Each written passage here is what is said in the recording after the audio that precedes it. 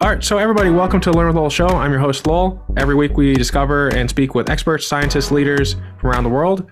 Uh, you know, please like, comment, whatever if you want to. Um, I put out new episodes every week. Today we're joined with Dr. Jennifer Garrison. Is it Garrison or Garrison? Garrison. Okay, yeah, it's like when you garrison a castle. All right, Garrison, assistant professor of Buck Institute for Research of Aging. Also, I want to uh, give a shout out uh, to Allison. I don't know if I should say the last name because I don't want to dox anyone, but uh, it's someone on uh, Jennifer's team who helped put this together. So I just want to say thank you, Allison, for putting all the work in. You know, keeping everyone on track and stuff like that. So I just I always like to say thank you to people who help. But uh, Jennifer, welcome to the show. Thank you so much. And let me also chime in and say thank you, Allison. Um, she makes my life better every single day. Yeah of of the people who do that those type of tasks, she's like definitely in the top five. Like, she's and I talk to a lot of people. She is amazing. yeah. So, sometimes people are. Sometimes people can be kind of uh, grumpy, and she was always pleasant. Even when she was like saying no or asking for clarification and stuff, she was always like it was like extremely professional. I, I enjoyed it. It was nice. Good. Um, yeah. I'm not. I, am so, not. There's no hyperbole. I. She really does make my life better. mm-hmm. The uh, so we were, we were talking about this beforehand, and I just kind of I I usually just pick whatever is the most interesting to start the conversation with.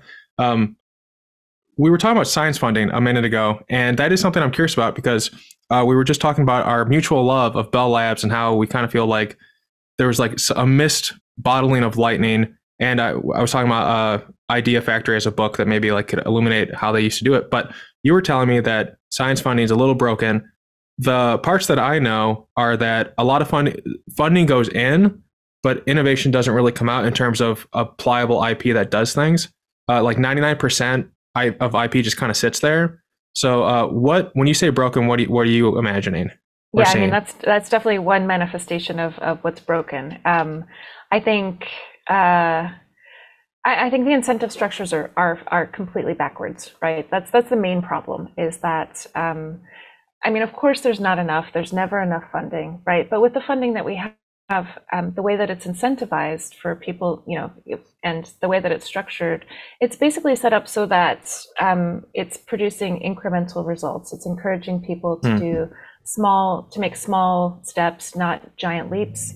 Um, you know, for me, I run an academic research lab at a nonprofit um, research institute, and, um, you know, we function just like any other academic center where all of the faculty here uh, support their own research programs. So essentially as a faculty member, you know, at a university or an institute, I'm like a small business. And so it's my job to bring in all of the funding to support my salary, the salaries of everyone who works for me, all of the equipment in my lab, all of the um, the supplies that we need, everything that we need to do the research, I have to bring in that funding. Now, um, oftentimes, you know, people can uh, help themselves a little bit by like getting some salary support to teach, or maybe the institution itself will give you some salary support, or maybe there's, you know, internal grants, but generally speaking, what I do is I write grants um, to the NIH, to the NSF, to private foundations, to individuals, to anyone really who has philanthropic money.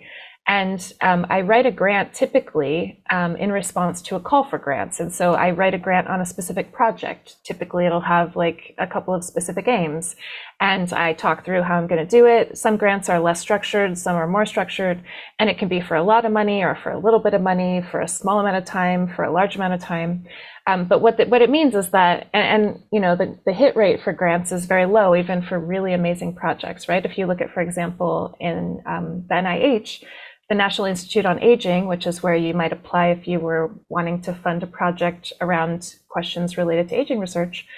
Um, you know, the the pay line changes every cycle, but it hovers between like nine percent and you know mm. like twenty percent if you're lucky, and that means that like everything that isn't in the top nine percent doesn't get funded. And so there's a lot of work that is really meritorious, that's amazing, that doesn't get funded. But all of that aside, what I end up with when you look at my, my lab budget is a bunch of like a whole patchwork of different grants that are different lengths of time, different amounts of money, and they're sort of mm. hopefully a little bit overlapping so there's no gaps. And um, whenever I look at my budget, I have to look, you know, two years ahead because it takes nine months to even get your grant reviewed at the NIH. And um, and the, the point of all this is to say that essentially, you know, when I write a grant for the NIH, um, it, it's it's there has to be a lot of preliminary data. I have to really uh, enumerate everything I'm going to do, and I have to write a progress report every single year. And I need to show progress on the aims that I wrote about. Now I can, you know, I, if if something really dramatic happens and I really need to change the direction of the project, I can ask the NIH to let me change it. But generally speaking, you know, the reward is for super incremental like advances and also things that are um, kind of already obvious right? Like they're mm. not funding giant blue sky projects that you know have no preliminary data that may or may not work. It's it's very incremental. It's based on a lot of existing data. And um, and i have to work on that thing. And so you know i'm i'm basically being rewarded for tiny progress. Uh, so the way that I think that we can fix this is twofold. And, and I will say the NIH has, I mean, they know that this is not the way to fund science. Um, there, there's a mechanism called uh, HHMI in the US, so the Howard Hughes Medical Institute. You, are you familiar with them? I know who Howard Hughes is, which is interesting that his name is in, on a building still, but uh, it's not a building. Yeah, I, no, no, it's actually you mm. can go to their website hhmi.org. It's it's an, kind of an amazing um, organization, and um, they have a they have a research campus uh, in Northern Virginia, but they also they fund uh, investigators at universities and institutions all over the place, and so um, it's a very competitive process. And what's really brilliant about the way they structured their science funding is they do two things. They um, they fund the investigator and the lab not a specific project. And so that, you know, that's basically saying, you know more about your work than I do. and you should have the freedom to, when something happens in an experiment and you realize you should go in a different direction than what you might have thought yesterday, that you have this, the freedom to do that. But then they also give them enough money so that they can fund a small to medium sized lab without having to apply for any other grants. Now they can apply for more grants and, and have a bigger lab, but it's um, it's enough money so that they're freed up to really focus on like thinking about the science and actually doing the science. And um, the funding is for seven years. So you get mm. reviewed every seven years. And seven years is a good runway, right? The longest NIH grants are five years and many are four years. And, you know, smaller grants are usually for smaller amounts of time. And the problem with that is you start down a path and two years in, you the grant runs out, what do you do? Well, you have to write another grant for something else. And so you pivot your research a little bit. And instead mm. of like continuing on a one trajectory that might be really promising, you have to, you have to like fit your research to the questions that grants, granting agencies want you to, want you to work on, which is so backwards. Like the idea that we should be telling scientists they have to work on Alzheimer's disease, for example, is just like, ugh, drives me crazy. Um, anyway, HHMI is seven years. And if you get reviewed and you don't get renewed, they have a two year wind down period. So that means that you have nine years um, and plenty of time to find other funding um, to really do some impactful work.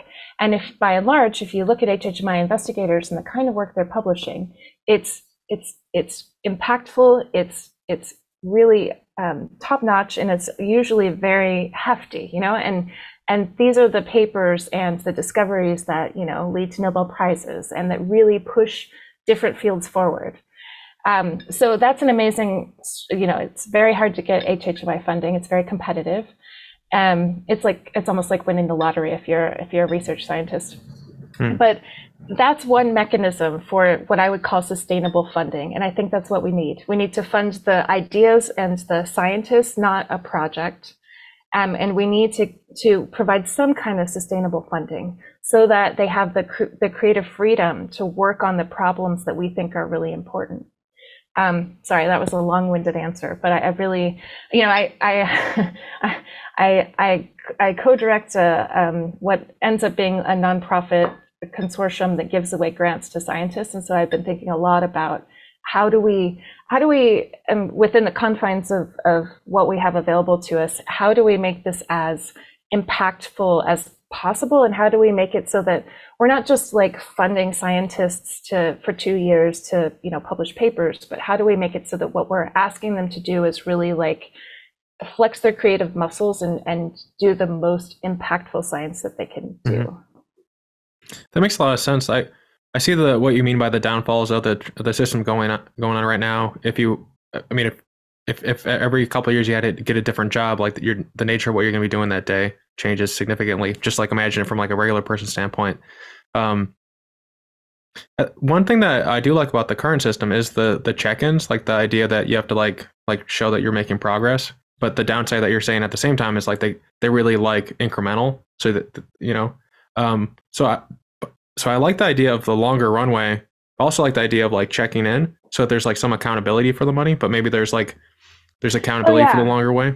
I think accountability. I'm not saying there shouldn't be accountability. Accountability yeah, yeah. is really important. Um, but but how that accountability is um, is meted out is is maybe the the, the point. Um, you know, uh, I, I think from from my perspective, right? So we've given away we, we gave away one round of grants in 2020 to 23 scientists all over the world, and um, they're two year grants.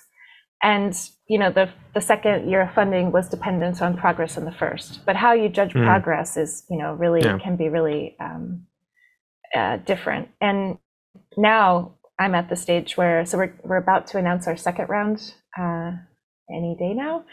And uh, we skipped a year for COVID, but the vision would be that going forward, we have a round of grants every single year and that we have two tracks. And so one track is is for brand new investigators because we always want to be bringing people into the space and um, you know as much as possible seeding um, seeding the field. But then uh, the second track would be a track for existing investigators who already have grants from us to apply for a sustainable funding track, right? Where mm. if they're doing something cool, if they're making progress, if we think they're going in a good direction, like keep going, please. But all of this takes money. So it's, you know, we have to be creative about how we structure all these things. Would, um, would it work would it work like uh, to implement the system? I'm imagining like how do we funnel the money into the correct system of uh either what the, the system that you're pr- proposing or like some type of tweak where a bunch of people sit down and develop like a new NIH with this type of long term uh, um, uh, progress r- report for lack of a better word, but like like a defined thing that everyone is is cool with. How do we fund that? Um, if it's from taxes, I just imagine we. It, it, I don't think we have like any amount of percentage of our money that goes towards just pure innovation in, in this way. Like I think the majority of our innovation is usually for uh, the defense program, but at the same time, there are there are some things we do in, in this arena. But then I think the, the I'm just trying to imagine like why don't we have a system like what you're saying? Because it kind of like marries all the ideas in one. You you're you're proposing supporting the researchers who are going to develop the things that are going to change the world. Um, and I can see the benefit of that over the projects because the researchers, if they if they can be consistent with it, can do great things over the long term. Uh, and at the same time, like we, we're, already we already addressed the having to change it up every two years, like that that sounds horrible, especially with science. Like it takes time to do these important things. I think uh, CRISPR for like CRISPR, for instance, I think uh, it's been out for a very long time, and only now have we seen clinical applications that are out there now. I think like the first two applications for CRISPR have been FDA cleared. And now, granted, that's not just you know lab work that's you know also like FDA stuff, which is beyond that point. But it takes time to take like a kernel of an idea and go, go through this process, especially if there's like a series of valley of deaths that everyone knows about in the as you develop something from idea to something like a CRISPR thing that's going to be implemented through the FDA. Um, so I was just yeah, wondering, how can we implement it sustainably? yeah, I was just wondering, how yeah. can we implement it sustainably? I, yeah. I guess like donations would be one. Well, so I mean, this is a place where actually, you know, one of the reasons I started thinking about this was because I was, I, you know, I spent a lot of time talking to investors and and people who are interested in trying to help change science funding, the DAOs, for example. Um, and you know, I think a lot of times people who have the best intentions end up like making things either worse or really having like a net zero um, mm. uh, impact because they fundamentally don't understand how science funding works, right? So one of the things you have to understand if we're going to talk about science funding is that um, every grant that I get from the NIH comes with um, the costs that fund my lab, but then it also comes with what we call indirect costs or overhead. And mm-hmm. a lot of foundations, a lot of private people, philanthropy, they don't want to pay overhead because they're like, oh, we want all the money to go to the science. But what they fundamentally miss when they when they say that is that guess what? Um, my lab is a physical place where I need custodial services. I need the lights to be on. I need. Um, I also need. You know, the reason I'm at an institution and not in my garage is because I need the grants department. I need the finance department to pay my people's paychecks. I need the communications team. I need. Um, you know, I, I need all of those kind of I need all of that, and uh, you know, I my the indirect costs or the um, the overhead covers all of those things. So they're not you know they're not dispensable. And so what happens is when there's a private foundation that says, oh, we're not going to pay any overhead, um, then whatever you know, first of all, that will exclude a lot of scientists from applying because a lot of institutions will say, well, like if they're not going to pay the mm. indirect like there's there's the math has to work right? Like we have we have to pay the salaries of everyone in the grants department. How are we going to do that? So a lot of people are, are barred from applying so that's excluding people who could be doing great work. But then if you are allowed to apply i'll tell you that it doesn't matter what the institution is. If you apply for a grant that doesn't have full overhead costs attached to it and you get it that institution will get those costs from you somehow. so they'll extract that money from your lab anyway, just through a different mechanism. And so, you know, so a lot of times I, I try to explain this to people and they just don't get it. Um, so it's really important to acknowledge that, like, yeah, we have to pay for the space and we have to pay for the electricity and we have to pay for all of these things in addition to like buying the pipette tips that that we're using to do the actual mechanics of the experiment. Um, mm-hmm. And sorry, I got lost there, but um, you asked me an important question, which was how do we get to the sustainability? So I will say, so there's, you know, I, it's not a negative message, it's a positive message. Things are moving in the right direction, I think. So the NIH is a, you think about the NIH, it's a governmental body, it's huge. Um, changing it in any direction is like changing, you know, like a giant battleship. You have to change it by degrees and it's incredibly slow and you might not even notice that it's moving in the right direction because it's, you know, moving so slowly. But um, they definitely have certain institutes within the NIH have recognized that this is a great funding model. And so um, there is a funding mechanism that some of them have adopted. It's just a single, you know, among dozens of different kinds of grants you can apply to, there's a single one called the MIRA. The it's called mm. uh, Maximizing Investigators Research Achievements, I think, or something like that. I should know because I have one. Um, but that's how I got. That was the first grant that I got when I was uh, an independent investigator from the NIH. Was a junior faculty MIRA, and essentially, it's what we just said. It's um, it's a grant that funds like my research vision um, not a specific project, and so it gives it gave me the freedom when I started my lab to sort of do what I call follow your no science, to really just to to follow the the the results where they led, wherever that happened to be. Um, and it got renewed, so that must mean that I was doing something right. um, but that, you know, so to put it into perspective, that's one grant, and um, that's not nearly enough to fund my whole lab right? So you need mm-hmm. multiple grants. But so at least they're thinking in that direction. And while it's not it's not enough to fund my whole lab, at least it's there. Um, so hopefully, you know, hopefully this will continue to catch on. But I, I, you know, I think that from my perspective, I think that there's also this. You said, how do we get things? You know, how do we get to have IP and things like that not get lost or um, completely, you know, never see the light of day. I think that's a larger problem that has less to do with science funding and just more about the culture of science, right? We, we as scientists, we live in what tend to be very siloed kind of um, echo chambers, and there's not a lot of communication either sometimes between fields, but oftentimes between the people who do the science, for example, and the clinicians who see the patients that that might be the the relevant population that those scientists need to know about or um, you know between people in the private sector and in academia and i really think that the advances that are going to most rapidly lead to products or therapies are going to be made through those collaborations and so because mm-hmm. you know each one has unique expertise um, yeah.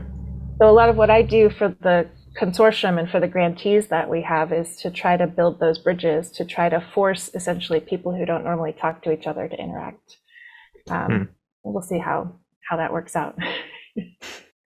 Hopefully, well, it sounds sounds a, there's a great nonprofit called New Harvest that does uh, kind of it seems like they do what you're trying to do, where they for mm-hmm. cellular agriculture they built out the infrastructure, they supported uh, postdocs doing research, uh, licensing of IP, so everyone could have like a, a, standard to build off of that type of thing. And so they it required like a lot of people coming together. So it kind of sounds like you're like on top of everything else you're doing, you're kind of building the, the structure of a nonprofit that brings everyone together to build the future that you are trying to see get built. That's right. Oh yeah, I wear a lot yeah. of different hats. Yeah, no, I'm absolutely doing that, and um, I think, I think it's one of the most important things I could be doing. Mm-hmm. So, um, we talked about funding. The uh, well, sometimes I wonder, it's like, how much does it cost to actually run an average lab? And at the same time, I wonder, uh, if there's overhead, you know, grant financing, legal from the university, mm-hmm. like, uh, it's like, what would be the the cost if you found like a startup equivalent that will render the service for you for like pennies on the dollar. Then you could uh, roll those benefits into everything else you're doing. But I'm sure there's like I don't know contractual reasons why you, you don't get to do stuff like that. Um, well, that's an interesting yeah. question, and um, I, I don't think I actually don't think the barrier there is like contractual reasons. In fact, mm. um, when I can send something out to a facility or to a CRO, a contract research organization, or something like that, I certainly do, and that's true for most academics. Um, mm. The the parallel to that, and the thing that's actually that that most academic scientists use a lot are core facilities, right? So it's it's like a parallel to what you're talking about. So most universities will have, like, for example, a microscopy core that has, you know, dozens of really super fancy million, several million dollar microscopes that any individual lab like mine like if I wanted to buy a million dollar microscope, I might be able to like find the funding to do that. But then that's mm. one kind of microscope, one thing, you know, and most labs can't can't really um, afford to buy really really expensive equipment. So what universities do is they have a core facility. It's like they keep it staffed with the best people and they have the most like cutting edge technology and um, and then as a university um, lab i can pay like some small fee to use that microscope, right? And so the people in my lab can reserve time on it and get trained on it and mm. then use the microscopes. And so there's lots of different kinds of core facilities. So there's like sequencing cores and genomics cores that'll do like, you know, for example, um, you know, like all of the the single cell omics or things like that. And um, mass spectrometry, right? A, mass, a good mass spectrometer costs many millions of dollars, and you're not going to use it enough to want to have have your own. And so um, there are these core facilities that you can, you know, the pricing is really just tied to what the instrument costs and how much it costs to run it, and you know they have like internal and external pricing. So um, I have an appointment at UCSF, so I can use their core facilities at the internal rates but if someone from you know Stanford wants to use the core, they can still use it if there's space and time, but they pay a higher price. Um, mm. And it's you know it's it's all very you know it works out pretty well um, for most things. Um, does that make sense? Does make sense. Okay, I, I, can see what the university brings to the table. Then it, yeah. it felt like it felt like uh, you were like a hairdresser that was a, an independent contractor that you have to pay for your chair, and all the university did was just kind of like allow you to have the bubble of the brand to do your work. Well, and so it's that's part it sounds it, like they do more. Yeah, they do so do they more, do more and especially yeah, where I'm at, I think um, we have we have the benefit of like really amazing, like like the administrative support is really important. Um, you know, like I said, Allison is my she she makes my life so much better. She's my chief of staff, and um, I think you know our grants department, for example, like the other thing to know about applying for grants is that most like private foundations, it's usually pretty simple, but the NIH, like when I put in a grant application, some like six or 12 pages, usually six pages of that is, is the science. And then it's padded with a hundred pages of like other stuff. And uh, there are rules. And if you, you know, if you accidentally break one of the formatting rules, your grant doesn't get looked at. You know, there's a lot of, um, there's a lot of red tape around just putting together a grant. And so the grants office not only helps us submit those grants, but they make sure everything looks right. And then when we get a grant, there's a lot of like paperwork and reporting and all this kind of stuff and and and that's what they do so we you know they they provide a lot of administrative support that's really important hmm. yeah I, I, see the value now i'm glad we, we could talk about because i was just like is she are, are, are, universities across the land taking advantage of researchers but Maybe. so we talked about uh, the I do wonder about like having like a, a, sovereign fund where like all the grants and stuff got pulled and they they invested it, but only like as a percentage, like what Norway does with the oil money. But that's more of a how would you, how would you build uh, an amount of money that would then just like pay out for the rest of eternity, I guess. But um, talking about your research, so um, I believe if I was reading this right, you you, you go deep on neuropeptides, uh, right? Okay, yeah. good. So uh, I I looked up, I was doing research on what these are because it's like, oh, this is neat. Uh, it's been a while since I did a neurobiology course, so uh, I was I was reading about it. And I was like, how does this? How do these things affect reproduction and aging? Mm-hmm. Um, so neuro, neuropeptides, just like, uh, and this is like cited from Kandel ER and 12 other people in Principles of Neural Science in 2013. Uh, um, they said uh, neuropeptides are a class of signaling molecules that are secreted by neurons and act as neurotransmitters or neuromodulators to transmit messages within the brain across nervous systems. They and then they list like it does a lot of stuff, like a lot of physiological processes, pain, sensation, stress, feeding behavior, like all these different things. And then they said and reproduction. It's like mm-hmm. it, it, feels like neuropeptides are almost like the carbon of of neurotransmitters or, or the signaling things. But I'm just kind of curious how do how do these things actually affect reproduction and aging? Yeah. So okay, um, there's lots to unpack there too. So one thing to say is that um, I, I know it sounds like it sounds like they just do everything, right? you're mm-hmm. reading this list and you're like, wait, what? uh, they just do everything. They're important for literally everything. Just, just you know, don't bother listing it. Just say uh, all uh, everything that you care about in your body. There's something um, related to neuropeptide signaling, and that's true in a way. And just to step back for your audience, in case they don't really think about these things very much, um, neuropeptide is really a misnomer. So they are mm. definitely used heavily and made by um, neurons, uh, but they can also be made and sensed by non-neuronal tissue. So it's kind of a misnomer. What we're really talking about is bioactive peptides. So, and and the, like I said, the language is kind of sucky here because um, peptide, right? Like if you know anything about biology, you know like proteins are basically chains of amino acids, and short chains of amino acids are called peptides. Um, and, but what we're talking about is not like what you would get if protein, you get like a bunch of little chains of amino acids that you would call peptides. Um, what we're talking about are bioactive peptides that are made specifically small, and they're made specifically in a way that is modified differently, chemically speaking, than like a protein. So they have lots of different modifications. They might be cyclized. They're just, mm. they are their own class of chemical that the body uses. And there are literally hundreds of them in, uh, in the human system, and there are probably a lot that we don't know about. And um, I think about them kind of like the brain's Wi-Fi. So when you know when I talk to someone who's not a scientist or not a neurobiologist, and I say signaling in the brain or neural circuit, they kind of immediately conjure up a, a picture, a cartoon diagram of what ends up being a synapse, right? So like mm-hmm. the end of one neuron kind of juxtaposed with the end of another neuron. And if you zoom in on that, you might see like little vesicles um, in one side, and you see like an action potential comes down one neuron, mm-hmm. and this is the axon. And then um, that triggers release of those chemicals that then signal to receptors that are on the postsynaptic side, and then the signal gets transmitted, right? You know that picture, right? Yes. Yeah. So this is like signaling between two neurons that are physically connected. The synapse is a physical thing. And that kind of signaling is mediated primarily by neurotransmitters. So those are small molecules. So they're different than peptides. And there's like, you know, maybe like a dozen of those kind of neurotransmitters. And you've heard of most of them GABA, glutamate, um, right? Serotonin, mm-hmm. dopamine. They're small molecules. And that kind of signaling is super fast, like on the time scale of the nervous system, like milliseconds. It's directional, and it truly is between cells that are physically connected.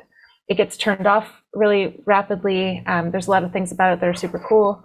Um, but peptidergic signaling, like neuropeptide signaling, is different. So while they can be released at synapses like that in response to an action potential, most of the time that's not how it works. They get released from different kinds of vesicles in response to different kinds of signals. And really, um, these are signals that happen on a much slower time scale, at least as far as the brain is concerned, more like seconds um, to minutes to hours. And they can signal over long distances and between cells or groups of cells that are not connected, right? So in the brain, they might coordinate distant brain regions, right? Like, so one group of neurons over here coordinated with another group of neurons over here because there's this chemical signal going back and forth. Or they could signal between the brain and the rest of the body and in both directions, right? So that's why I say it's kind of like the brain's Wi Fi. So it's just, it's like a different mode of chemical signaling. Does that make sense? Mm-hmm. Yeah.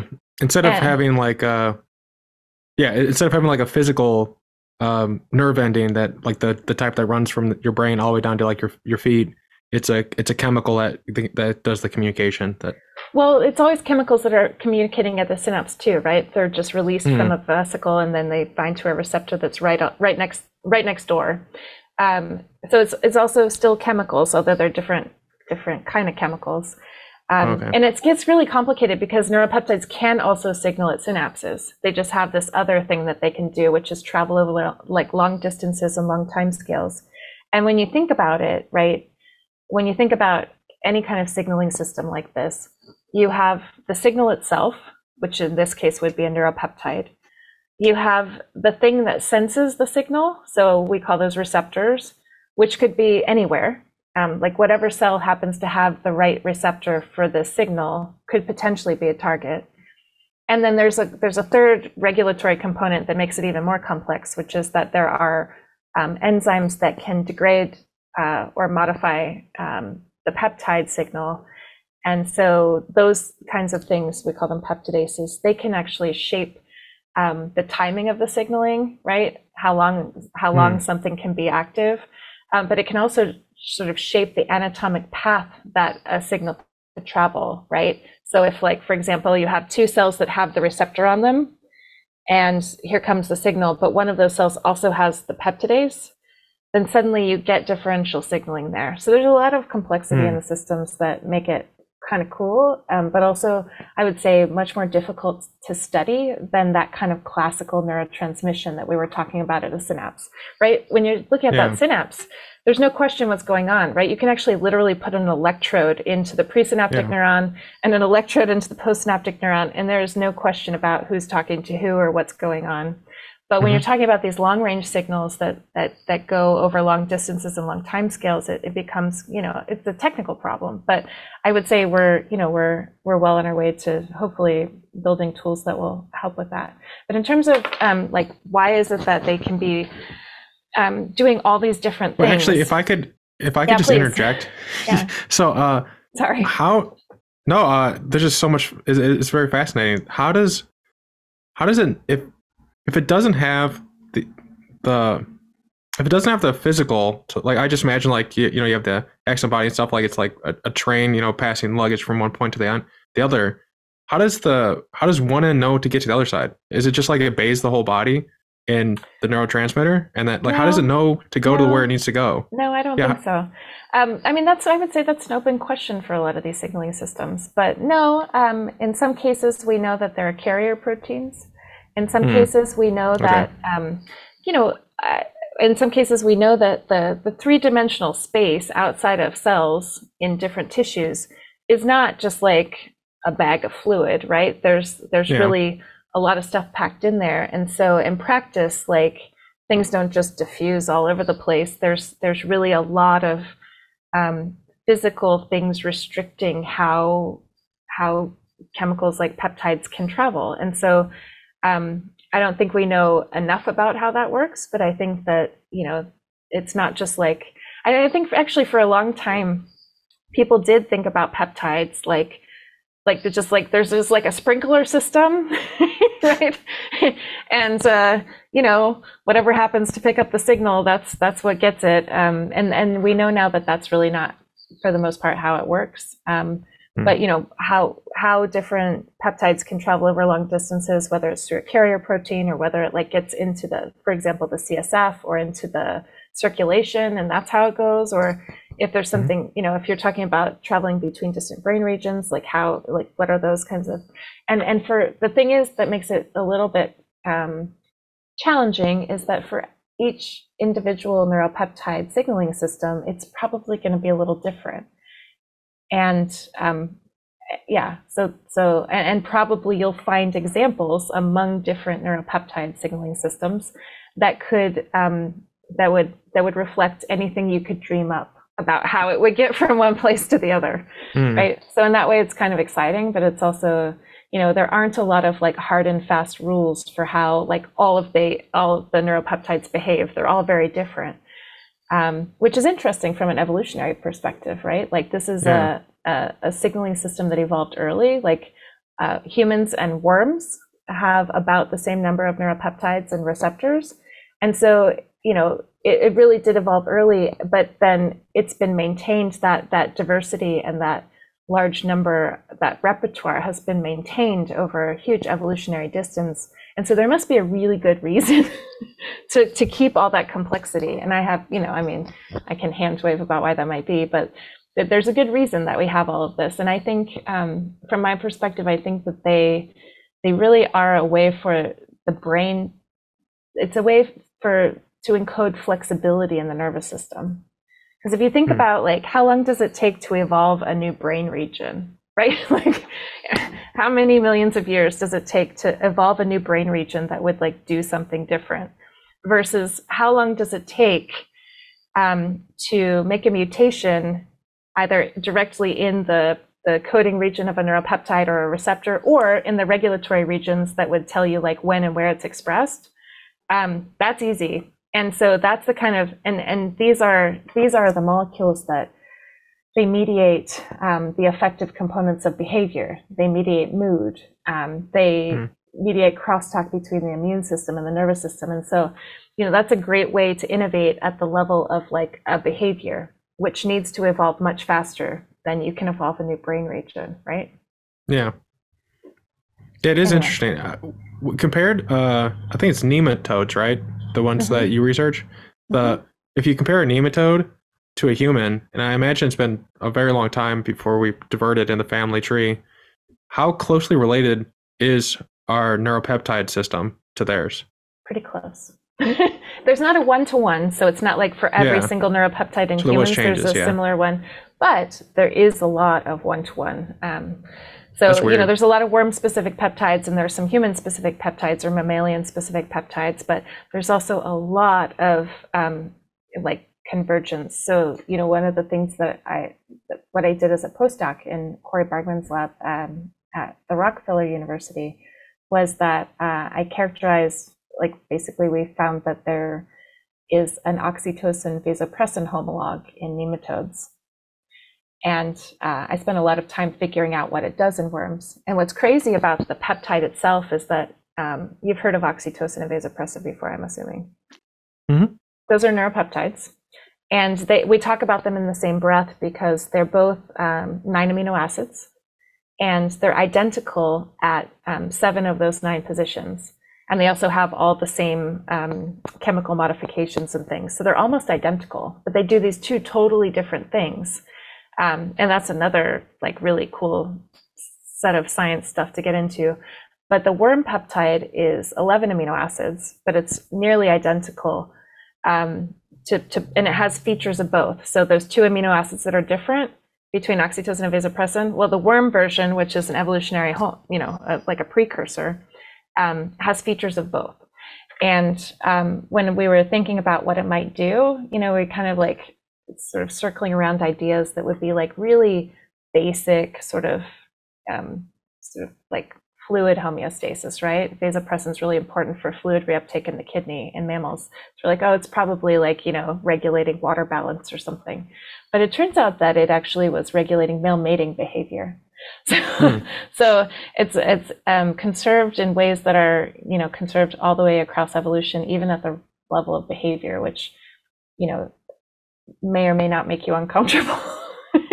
like there's this nematode that only has a thousand cells, and yet it has the ability to do these complex behaviors, and it uses the same signaling molecules that we do to control reproductive behavior. Anyway, um, you asked me a really important question, which is, and I'm just talking and talking and talking. Um, no, I've been like, I'm enjoying it. Yeah.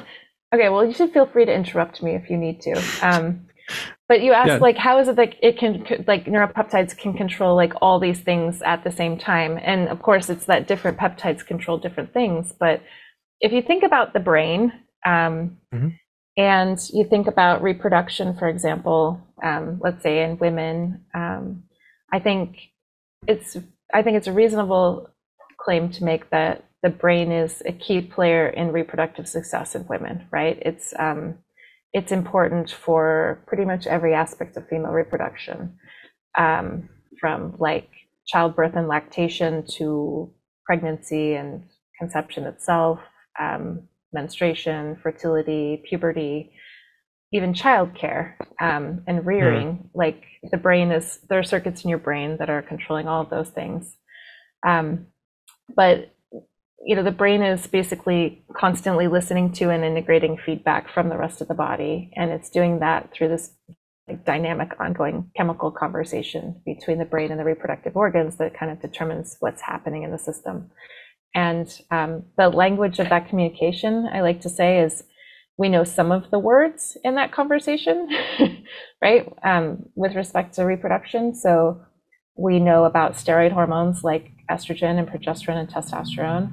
We know about um, uh, neuropeptides, some neuropeptides that control reproduction, like um, GnRH or kisspeptin or even oxytocin. But I think there's a huge number of things that we we have yet to define, and so that's kind of where my lab works is trying to understand what all the components are and how they change with age. But you know, when you step back and and look at where in the brain uh, is the control center for reproduction. It's in the hypothalamus. Mm-hmm. And the mm-hmm. hypothalamus is an interesting part of the brain because um, it has a lot of neural circuits that are important for homeostasis. Um, so, body temperature regulation, fluid and energy homeostasis, um, circadian rhythms, and reproductive function. And those neurons are all intermingled. They're like all mixed up. It's not like the cortex where there's this beautiful, like physically defined layers with like, you know, neurons in different layers have different architecture and you can tell where you are by how things look. In the hypothalamus, everything's all mixed up. Um, and some of those neurons that, for example, control the circuits for fluid homeostasis, there's some partial overlap between those neurons and the neurons that control, for example, like energy homeostasis. And so when you start to focus like female reproduction, for example, through the lens of the brain, suddenly some, things start to make a lot more sense because those neurons that are controlling um, fluid homeostasis, for example, they're not just controlling the physiology, they're controlling the associated behavior and, and through these signaling molecules like neuropeptides. So like for fluid homeostasis, they definitely control like how much water you're retaining by modulating your kidney function. But they're also controlling drinking behavior, like how mm. much you're taking in. Um, and they're controlling mood and emotion. So suddenly, like when you start to think about like, I don't know, um, the constellation of like physical and emotional symptoms that are associated with menstruation or motherhood or menopause, suddenly, you know, things start to make a lot more sense because all of these homeostats are in the same place. And the whole basis for my lab is just thinking like, okay, there's an age-related increase um, in inflammation, specifically in the hypothalamus. Lots of labs, Dong Cai and others have shown that. Um, we don't know cause effect. We don't know anything about that. But what we know is that, what I think is that changes in those homeostatic circuits with age um, might be one of those like first dominoes to fall with respect to systemic aging, right? You mess around with the fluid homeostat, for example, um, and that changes with age, then maybe that conversation changes, and that is, you know, one of the things that leads to what we consider like hallmarks of aging. So that's that's why I think it's important to know what that conversation is, and then to see whether or not we can use any of those those words as intervention points for extending health span.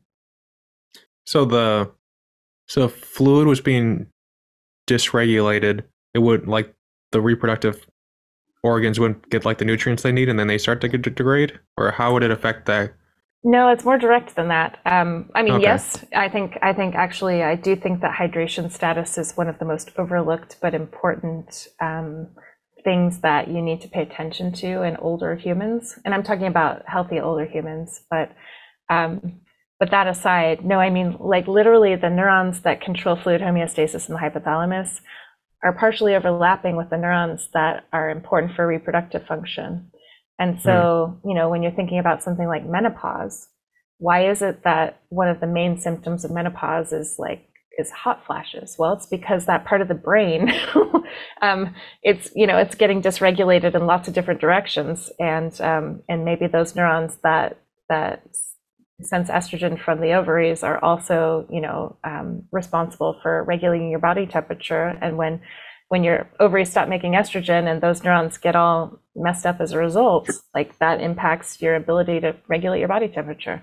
Um, you know, there's, everything's like connected there, and Mhm. not directly necessarily, but there's a lot of overlap in those systems. Um, so, and I don't think we fully understand just how they impact each other. But that's that's the beauty of you know of uh, follow your nose science.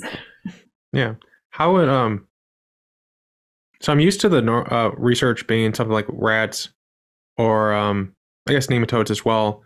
How would we replicate like uh, a human who's gone through menopause and then giving them um everything they would need to ha- like it if it's like just a uh, like a chemistry thing in the brain if we just reintroduce those those components would they be back to being able to be fertile and have a normal reproductive cycle I mean, that would that would be the goal. Um, I think that we have some hints that that might be possible, but um, but I would say that we I don't I don't know, but that certainly Hmm. you know that would be one of the hypotheses.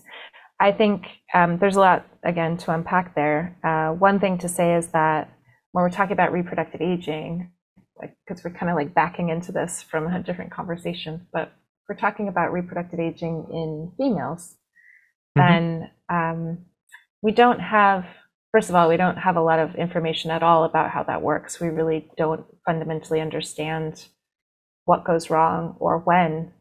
Um, we know what the downstream consequences are for sure, like with respect to fertility or birth uh, um, miscarriages or things like that. And we know what the downstream consequences are with respect to menopause, but we don't understand the causal underlying factors there. So, but we do know, like there are some experiments that have been done that point to um, the existence of what we would call like, um, you know, uh, paracrine factors or things that, you know, signal outside of the signal for long distances essentially um, that could be beneficial, but we don't know what they are. We don't know what would be the right timing. We don't know any of that. So, um, and I would also say that we don't have any great models specifically for menopause um, because menopause is something that is really unique to humans. It's just us and a few species of whale and maybe one species of non-human primate, but that's a little controversial, that go through menopause. So um, developing new animal models, developing new um, ex vivo, like organoid models, developing anything that would help us better emulate what happens during menopause so that we can test these questions is um, one of the things that we fund grants on because it's really Mhm. important. Yeah, the it sounds really complicated. It, it- Yeah. like I'm just I keep picturing the lifespan.io where they have like the like a big chart of all the things that need to come together for an intervention and aging to happen.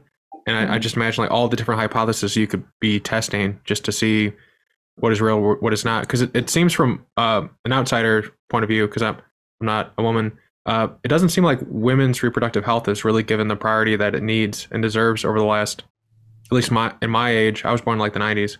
Um, I think even like uh, there's some reproductive no uh, there's some elements of like what women need that's like a luxury item tax. It's like I don't know why it's a luxury item. I don't think women would consider it a luxury item. But I um, mean, I I would obviously agree with you on that. Um, I think yeah, I think there's um, well, I mean, you can start just with women's health in general. Forget about reproductive aging. Just uh, I think women's health in general is is both underfunded and understudied, and you know we have hard data to support that. And Yeah. there's a lot of different reasons for that. I think primarily there's the lack of funding, but there's also the like the societal taboos that have existed around women's bodies. You know, the public Mm. discourse about things like menstruation or pregnancy or menopause or just really anything to do with women's bodies was kind of verboten until not that long ago. And there's a moment happening now around breaking those societal taboos. And I think that's really unleashed a whole, like a really, to put a positive spin on it, a really amazing movement to say, like, wait a second. How is it possible that we don't know the answers to these questions? How is it possible that we don't have, for example, a diagnostic health panel that would tell a woman where she is in her reproductive span trajectory?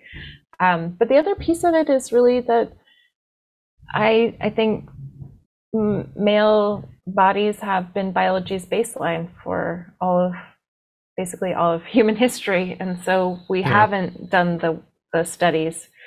I mean, that's why we're doing what we're doing with the consortium. Yeah. Um, is just to to fix that, to really to stimulate research in this space as much as we can, and also just to grow, like you said, the ecosystem around this particular scientific discipline, so that everything that's discovered by our grantees and by anyone else who comes into the space, that it can be translated faster and made into products and diagnostics and therapeutics faster for women. yeah. Um, I heard from some of my friends who are doing clinical trials that a Mhm. problem they have is getting women to participate in them. Like that, it's actually really hard to get like a um, a diverse panel of people in a clinical trial to normalize out. That would be good for the whole population. That's why I, I think I think someone was explaining to me that's why a lot of drugs work better on people that look like me and people who don't. It's because like apparently people like me are, are willing to have people inject drugs into them. As far as I, I understand it, um, how do we encourage? Oh, okay, you, you disagree? No, I'm not sure I disagree as much as um, I, I'm not sure that's the primary problem. I think Hmm. that, um, I mean, most of the women I know are, are dying to participate in studies. Um, Okay. But I think that there, like, there was, um, I think it was in the early 80s that um, the FDA mandated that clinical trials had to be done in both men and women. And before that, that wasn't true. And at least in biomedical research, and I think also in clinical trials, women were purposefully excluded. So female Oh. animals were purposefully excluded from biomedical research because, you know, it turns out that our ovulatory cycles and those hormonal orchestras that are happening, they introduce complexity into the system. There's no question that um, that that is more more complex. And so, um, you know, I was I was I was told as a PhD student, like only use male male mice in your studies. Don't don't use females. It'll it'll muck up your data. yeah. Um, and for clinical trials, you know, I think there's um, there's always the fear of lawsuits and uh, women, particularly women of childbearing age. I think that uh, you know I, I, that people um, doing the trials wanted to avoid any kind of um, you know thalidomide style uh, Yeah. um, uh, controversies. So I, I think that they were purposefully excluded. Um, I don't think it was necessarily that that women don't want to participate. I, I think that Okay. yeah, that's I see that point. Yeah. Yeah. I could see how it'd be a series of dis- discouragements or literally don't use those mice. Uh, you're uh, it'd be it'd be um kind of amusing, I guess, if, from my point of view, if I were you, if one of the biggest things you do is just start adding, you know, uh, female mice, and then we start tracking complex systems better. Like it'd be it'd be interesting. I was wondering, like, what's the first domino that starts hitting and then does these bigger things? Mhm. And so if we if one of like one of the biggest things you did was just like a part of your grants uh, was mandating that you had to have a diverse population for the the, the trials, and then Mhm. that started like a whole cascade of things. Not saying that that is ultimately what you will be known for, the biggest thing, but I always wonder if what if that's the domino that like causes all these other great things to come from it. Well, um, I have to say it won't be me. I mean, these these things have already been mandated. Um, the NIH Hmm. mandated in 2016, but in 2016, like it's 2023, that wasn't Yeah. very long ago.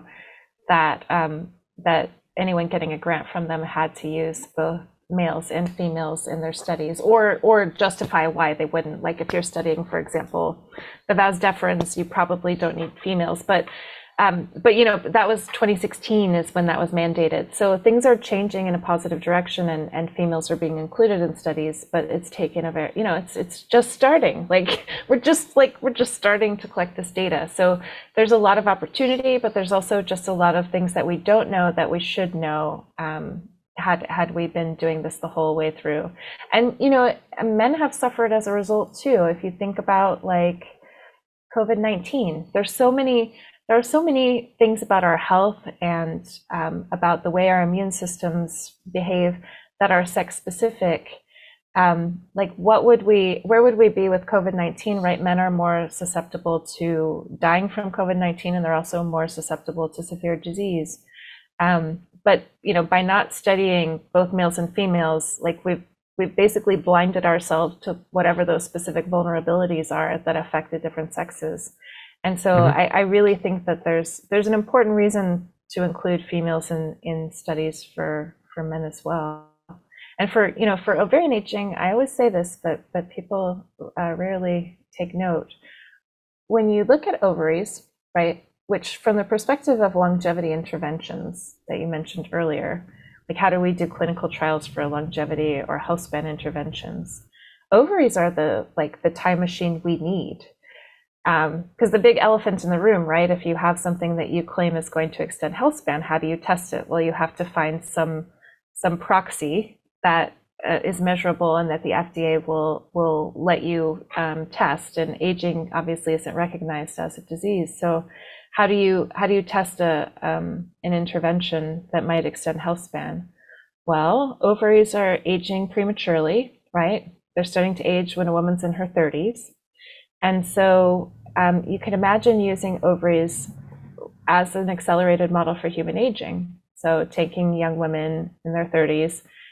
Um, oh, and I should mention maybe a really important piece of information to know is that many of the pathways, um, for all the pathways that we've looked at in ovaries that are important for aging in other tissues, you know, things like um, mTOR signaling, you know, all the big ones, they're also operating in ovaries and you know interventions that uh, change aging in other tissues also have a positive impact on ovarian aging so what that means is that if we can understand why ovaries are aging prematurely it will give us clues about aging in the rest of the body Mhm. but more importantly you could take a health span intervention and test it in you know a two or three year clinical trial with women in their 30s and ask very simple questions, extremely simple metrics and outcomes, um, pregnant, not pregnant, uh, bone density, uh, hormone levels, lots of things you could measure to look at ovarian function that would give you a sense for whether you are having a positive um, impact on ovarian function and then extrapolate towards um, thinking about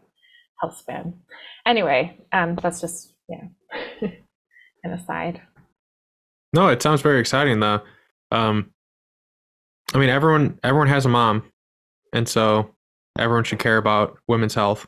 I think. Well, I mean, I, that's actually, I would argue that's not why you should care about women's health. But um, yeah, Mhm. everyone has a mom or a daughter or a sister or a friend or a partner um, who might have a pair of ovaries or at least one ovary. Um, but I would argue that you, as a man, should care about this because, um, because, yeah, because it's a, it's like, it's a really, it's like a shortcut to, to finding not just pathways and genes that control aging in the rest of the body, testing Mm. interventions that might impact aging in a way that's tractable in our lifetimes, but also because you know the age at which a woman goes through menopause, right? It's called um, age at natural menopause or ANM.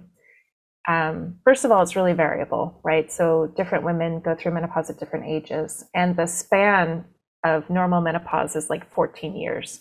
So if you go through menopause before 40, it's early. If you go through menopause after 54, it's late.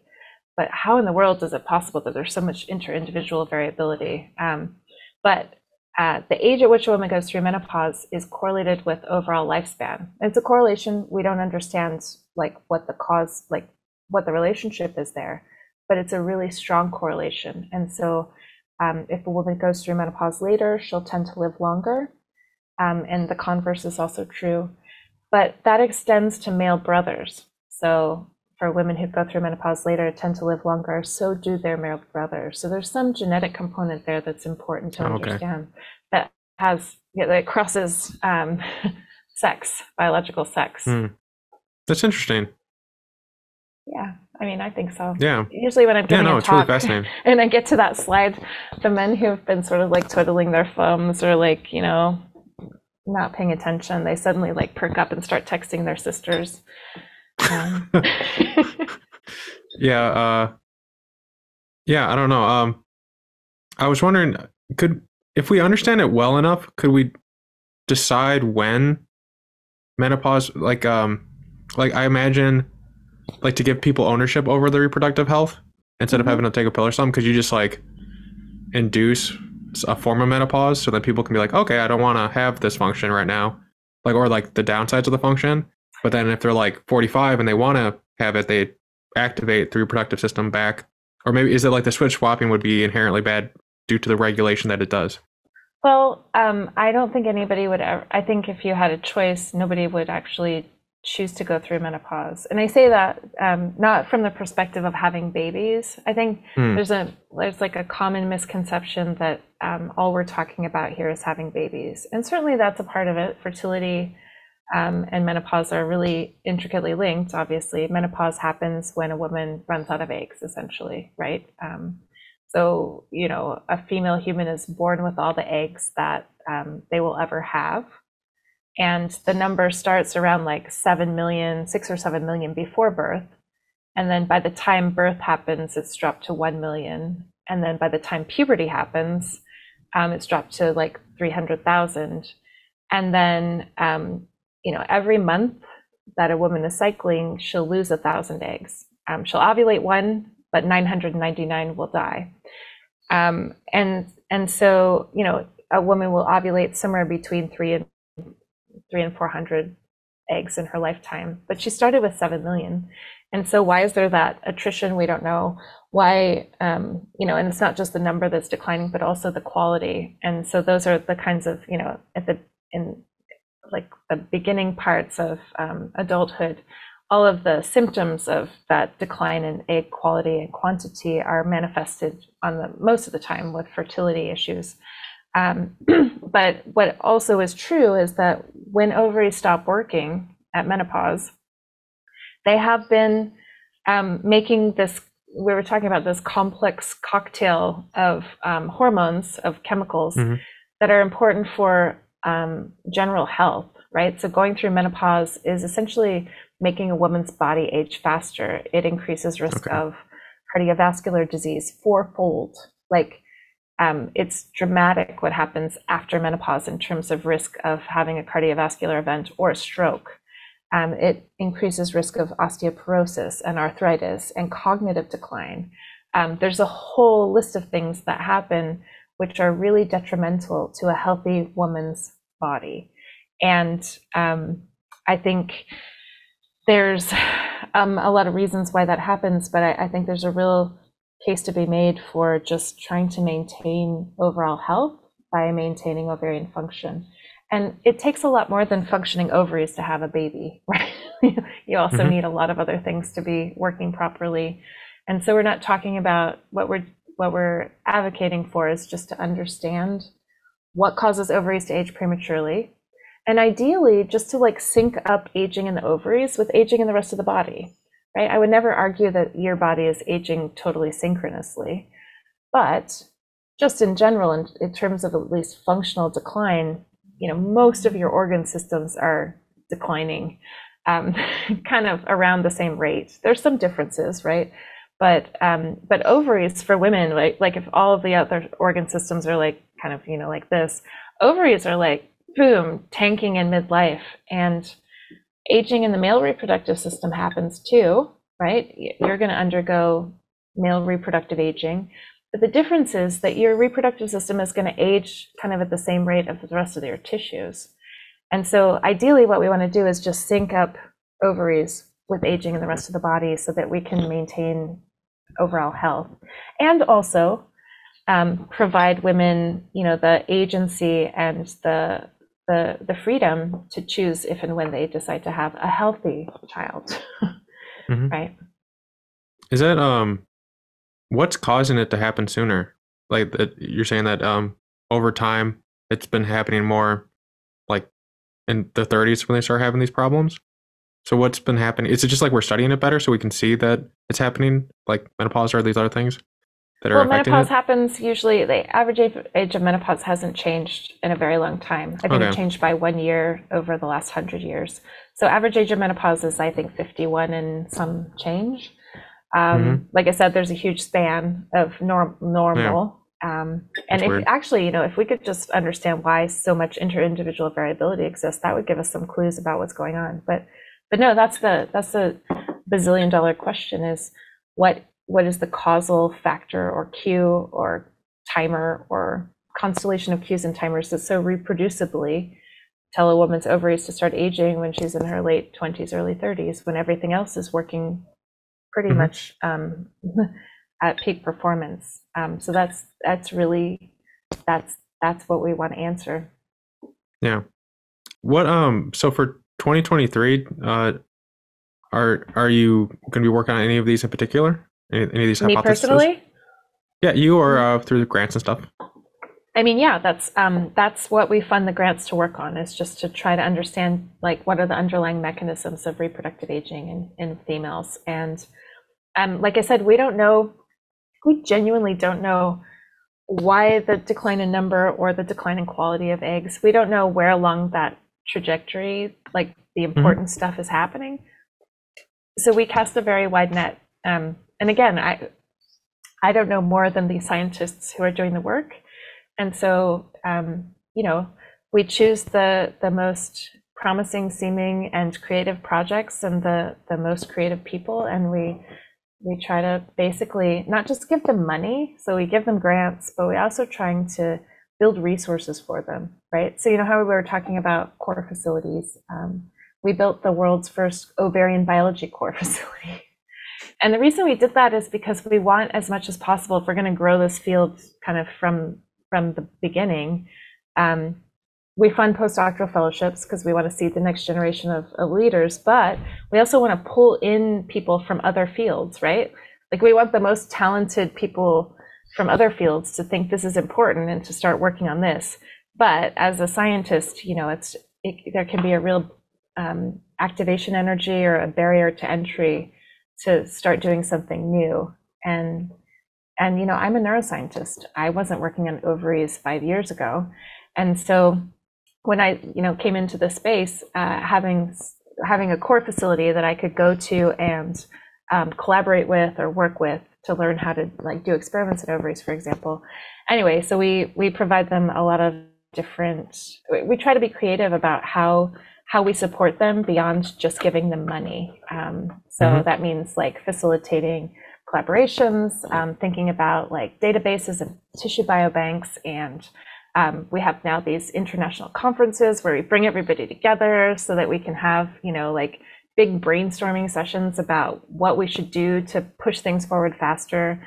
Um, we put together a translational advisory board for just the things that you were talking about. So really expert heavy hitters in different aspects of R&D and pharma and biotech and funding um, so that when there is IP that comes out of these labs that that that we can help them as translate things as fast as possible.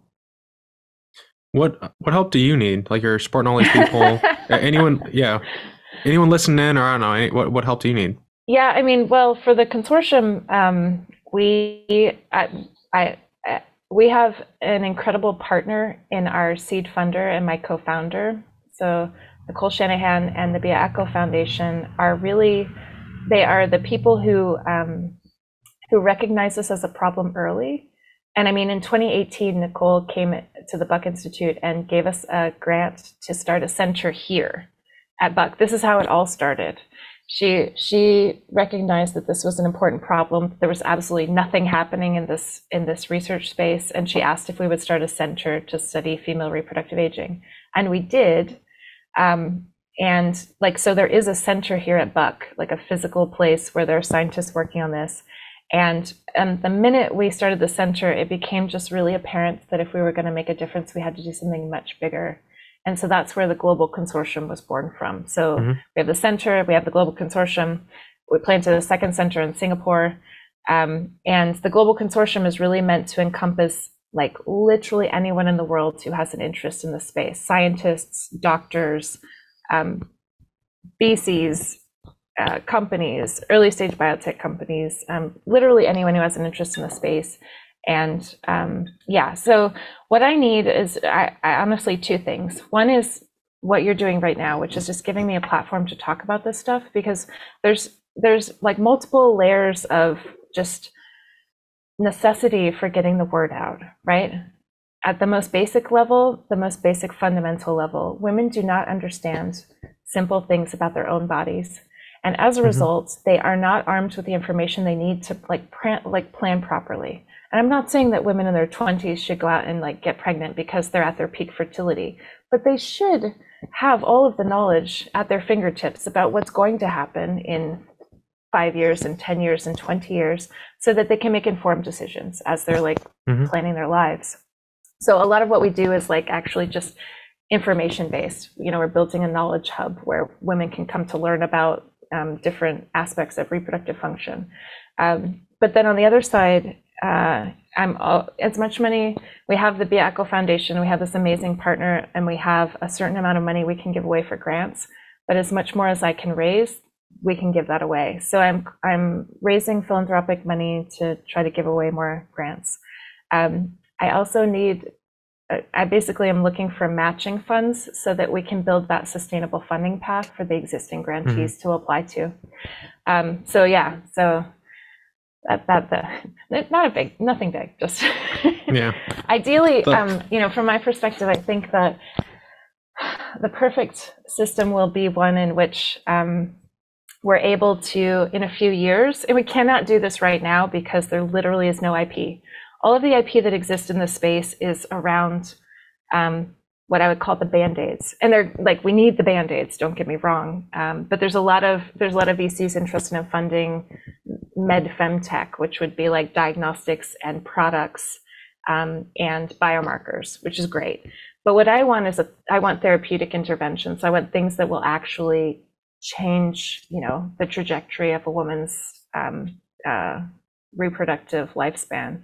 And so on that side, there there's very few companies, and the reason for that is because we don't like we don't have the IP because we haven't done the experiments because we haven't made the discoveries. So I think for the next several years we have to invest in the basic research, but eventually there will start to be IP that's generated here. And then we can think about like accelerators or models to take that IP, foster those early stage companies, build those companies, and then hopefully have some little bit of that come back into the, the academic side and fund the grants. And maybe there will be a sustainable cycle that it happens. But to get there, like um, what I really need is like, you know, a, a what I would consider like an endowment. You know, I'm trying to mm-hmm. build a, a, pile of money that we're not just giving away every time, but that would allow us to give away the money um, and then yeah. hopefully build this whole system. So, yeah. No, it uh, makes sense. The uh, there was a there was a time where I had like three or four of my female friends coming to me. Now that I think about it, I don't know why they came to me for these things, but they were having problems with their. well, I was just, uh, they were having problems with their OBGYNs, um, mm-hmm. where uh, they were they were like in their mid twenties. They were having a problem, which was like uh, one of them was having like I'm not naming their names, so I think I can say these things. The um the uh some of them were having like endometriosis type symptoms. Yeah. And they sat down with their OBGYN and the OBGYN was like, So do you want to be using your uterus? And and I was like, why like I was like, why would they ask that? like so the first thing they did was like, Do you want are we gonna like hysterectomy you? When they when they first crazy. sat down. Yeah. And yeah, that's not, like you're mid twenties. Not a good not a good path. yeah, so they, they they they called me because um I'm kind of like uh, amongst my friend groups, I'm kind of like the doctor whisperer in terms of like how to how to ask doctors good questions so that they don't kill you. And so so then uh, so it's like, all right, well, here's some questions you might want. Here's some question you might want to ask, but I think that doctor might be just like a, it's like a, like a, like a, a butcher. I mean, you first sit down, they pull out a pad of prescriptions, and they, they immediately ask you, do you want do you want your uterus, or, or do you, you know, can we get rid of it? It's like, I don't know. That seems kind of extreme. So like, Super uh, extreme, it was getting, yeah. It was getting to the point where it's like it was always irritating me enough, just like imagining like thousands and thousands of women having similar conversations. And then uh, I started talking to some doctors, and apparently there's like there's doctors out there that as soon as they hear a woman in like their 40s or 50s having a problem, they'll like they immediately try to do hysterectomies and stuff, which is just disgusting. Um, like no Yeah. like actual reasons. Yeah, but anyways, um, so Can I? this can this I? Oh, can I just um just to sure yeah uh, you can interrupt me. No, I, I mean, I just, because I, I, I don't want to forget to say this because I think it's really important. Um, I think there's, um, there's many things to say there, and I, I agree with you that that's, that should not be the first path. Some, there are extreme cases where that really is the only option, but th- those are really at the, those are like the edge cases and not like what should be the, the normal path um, for treatment. And I, I just want to like I want to balance this by saying I think that most doctors their their motivations are pure and they want to help their Mhm. patients, but there's Yeah. like genuinely no information. So they're operating on nothing. They don't like we haven't we know now that keeping your uterus is important even if you don't want to use it. Um, Yeah. There's a lot like there's a lot of evidence now. There's huge numbers of studies showing that a lot of bad things happen when you take a whole organ out, and you know, good to keep your uterus if you can. Um, but there's just there there's a problem at many levels here. So one is that the doctors don't have the information they need, right? Mhm. Partly because the studies haven't been done. So you know, what do you do for endometriosis? How do you even diagnose endometriosis, right? Like many women have things like endometriosis or PCOS, or they call it POI, um, which is like ovarian insufficiency, which basically means like, well, we can tell your ovaries aren't working properly, but we have absolutely no idea why. um, so we're just gonna, you know, give it this this term. Um, but we don't know how to diagnose those things. We don't know how to treat them. And so doctors don't know what to tell women, right? Because there's just nothing. There's really they don't have a lot of tools at their at their disposal. And as the research comes out, they don't have time to educate themselves, right? So that's part of what we're doing on that that knowledge hub is it's a place for women mm-hmm. to come, but also a place for scientists and, and doctors to come, where at the most superficial level, and the goal here is simply that, you know, right now, if you type in endometriosis into Google um, or PCOS and you're a woman looking for information, what comes up is like lots of factoids that if you click on them will take you to a company that's trying to sell you something, which Yeah. could be good or bad, but you know, we're basically where we're like, what what happens to me? What what just happened? You described happened to you. Yes, my friends, my friends of friends, my family members will email me and say like, okay, I just got diagnosed with X Y Z. What do I need to know? And then I drop everything and I spend half a day like getting Mhm. the doctors in their area, telling them what they need to know. Here are the studies. Here's this. Here's that. Here's the other thing. And I'm like, oh my god, what if you don't have a me? What if they don't have Yeah. a you? Like, what are they doing? Um, and so most women are just like completely lost because there's just there's not a, a place that they can go where there's just really curated information, right? We have no Mhm. skin in this game. We're a nonprofit. All we want to do is make information that has been vetted by scientists and doctors available. So at the most superficial level, it would be like, here's what PCOS is.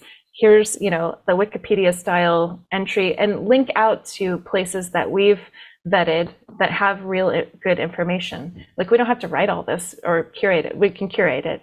But then at the Mhm. second level is like if you want to dig down and say, okay, what do we know? What do we not know? Like what are the open questions?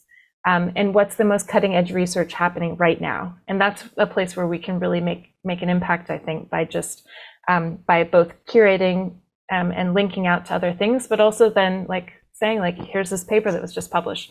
Here's what it shows. Here's what it does not show. Like without any hype or, you know, I think a lot Mhm. of science is often overhyped by the media, and that's you know does a disservice to the people who are like trying to get the information. Um, and then if you want to dig down even deeper, like here's the actual scientific articles, and if you want to read them, here they are.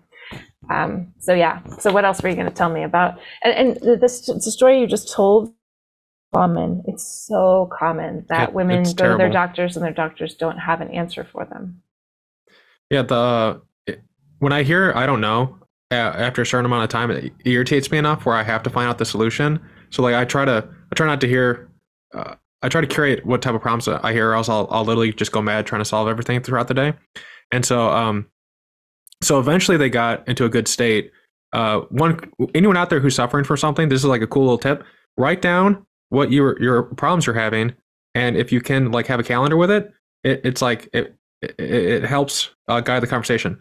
But um, yeah, I just it was irritating me to the point where like, I almost like stopped what I was doing and it was like, how how could I build some type of machine learning application that would like scan all the images and then determine you know like endometri like differentiate the, the different ways and all these other things because it just it, it bothered me that so many people are, are not being heard like it, it just they just happen to have someone they can talk to with me but how many people out there like you're saying like they don't have anyone and it made me really sad and um, at least in these cases, I think all of them got on a on a good scenario. I think uh, part of it's like sometimes a doctor says, "Hey, I think maybe we should do something," and people don't hear, "Hey, maybe we should do something." They hear, "You have to do something," Right. because it's a doctor.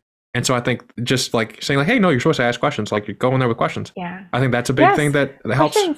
Um, we're Yeah. putting together a clinical advisory board because, you know, to be perfectly clear, I have a PhD. I'm not a medical Mhm. doctor. Um, but we're putting together a clinical advisory board full of MDs that um, we want to have them help us in two ways. One is to um, to put resources out there, like you just said. So if you're a woman in this age range, here's like at the most superficial level, here's Yeah. a half a sheet of questions that you need to print out and take with you to your doctor. Oh, that's right? amazing. And then, but on the doctor side too, if you're a doctor treating a woman in this age range, here are the, the like 10 things you need to check. And then on both sides, like if you want to dig down a little bit, like here's like all the analysis. And then if you want to dig down even deeper, here's like the, the primary literature.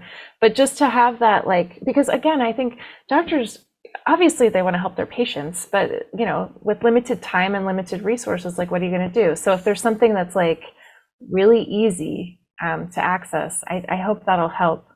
Um, the other Oh, well. piece of it is the training, right? I mean, I think there's a lot of room to to include more information just about women's health in general in the first four years of medical school. So, you know, we're going to try to like, we're going to try to um, get the med school curriculum changed.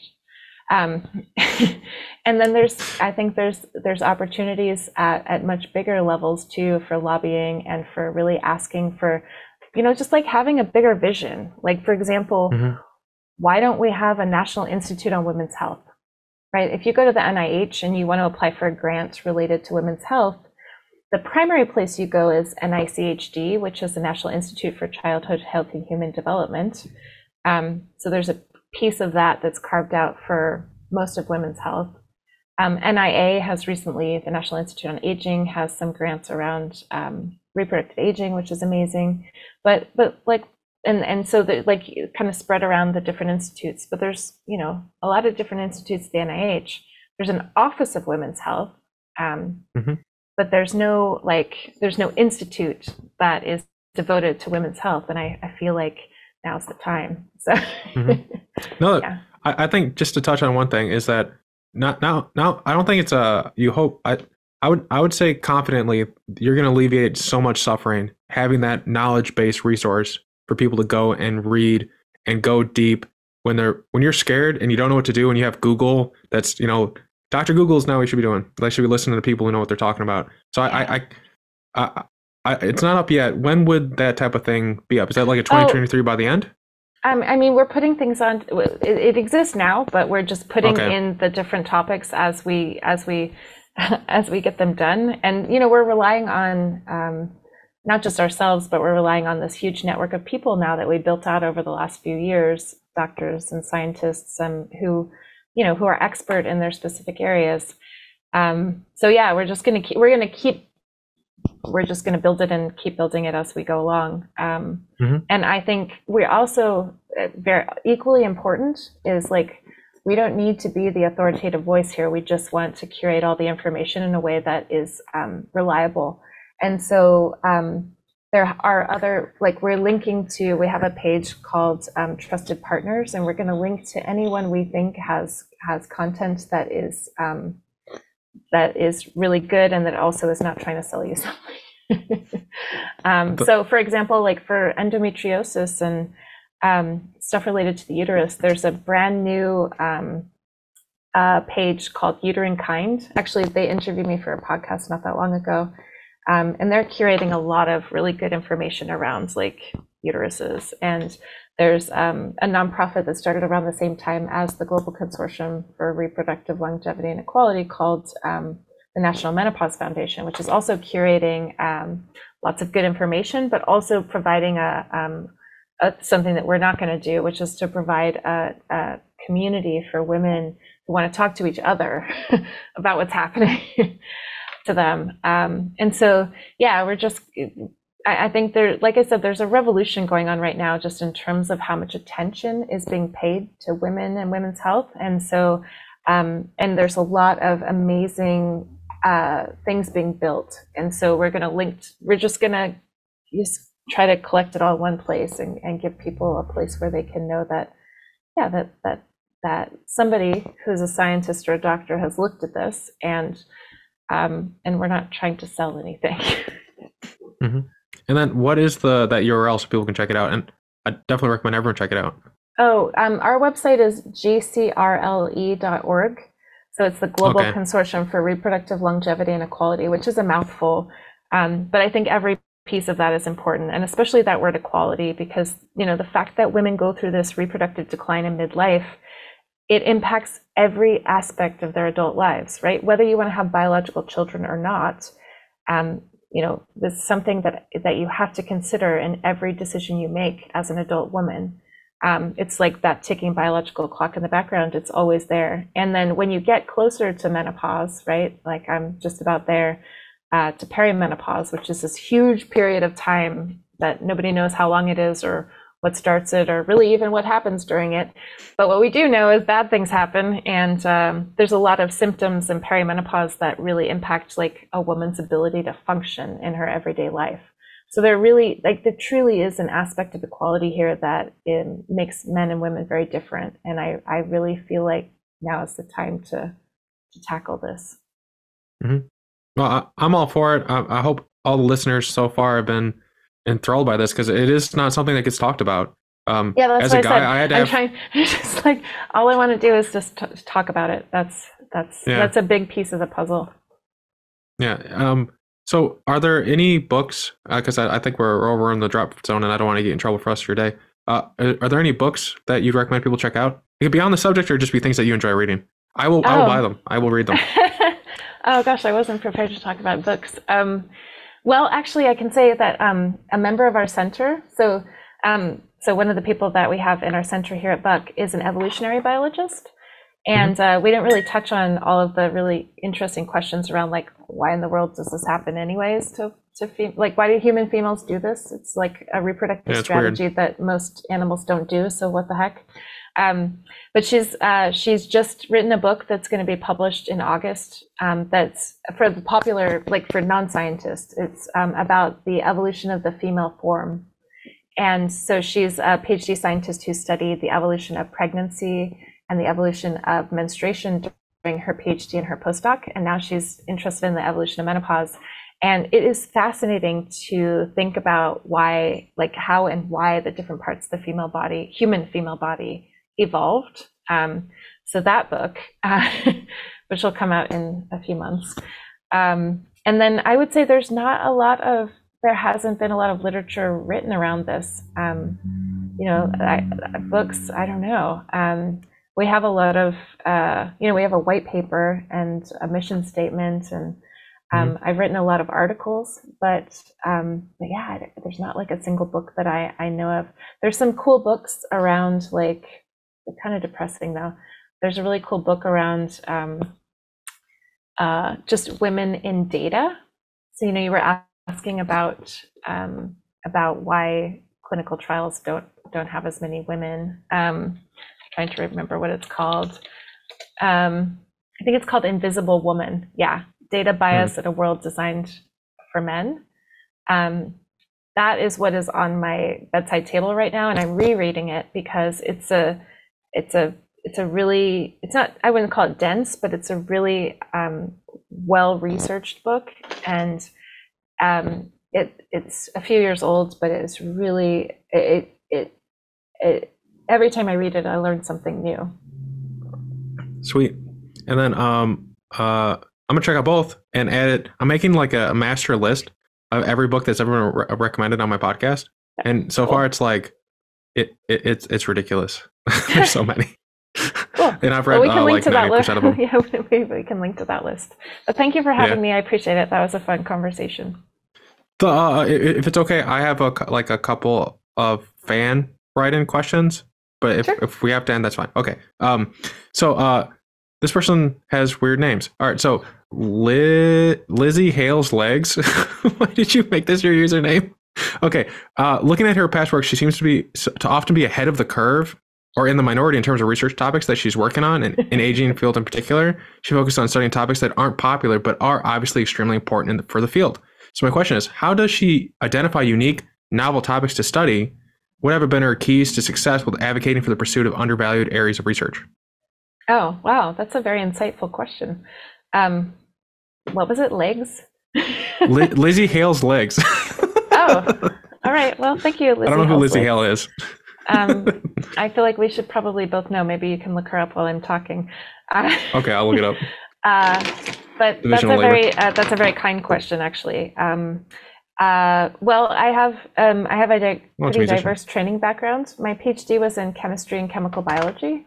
So when I, you know, I my undergrad was was um, uh, molecular and cell biology, and really looking at like biophysical models of like proteins at the molecular level. And um, when I started my PhD, I had this kind of somewhat naive idea that um, if I could make molecules, like if I could do synthetic organic chemistry as a biologist, I would kind of like rule the world. And um, I wasn't, I mean, it was a sort of a naive idea, but I actually, I'm so glad that I um, did chemistry because it gave me a perspective that not a lot of people have.